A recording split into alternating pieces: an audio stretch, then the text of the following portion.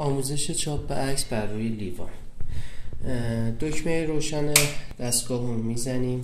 برای تنظیم دستگاه دکمه ست رو یک بار می‌زنیم. دمای دستگاه توسط کلیدهای پایین بالا بر روی 210 درجه سانتیگراد تنظیم می‌کنیم. این دستگاه دمای چاپ لیوانش سانتیگراده. برای همین دما رو روی 210 می‌ذاریم. ولی دستگاه هایی که حالت فارنهایت دارن سه حالت دمایی داره 320 340 و 40 ثانیه.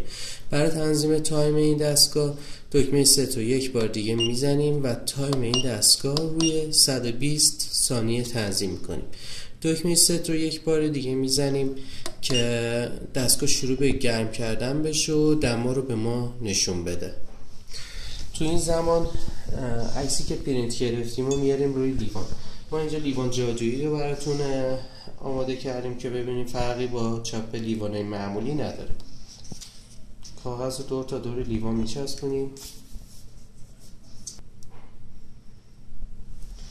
و میاریم داخل قسمت کلنت لیوان قرار میدیم. این پیچی هم که بالای دستگاه هست که روی دستگاه های دیگه هم به همین شکله.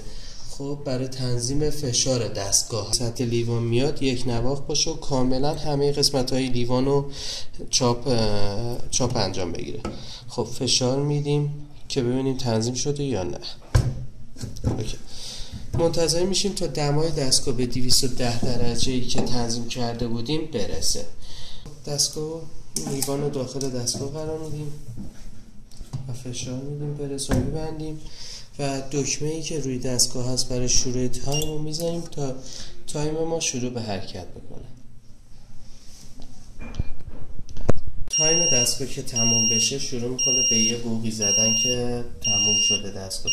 ما تو این زمان دست رو باز می‌کنیم لیوان در میاریم و چک می‌کنیم که کاملا قسمت هایی که چاپ می‌خواستیم بزنیم چاپ شده یا نه. اگر چاپمون یه مقدار مشکل داشت دوباره لیوان داخل دستگاه می‌ذاریم تا مشکلات چاپمون رو برطرف کنه.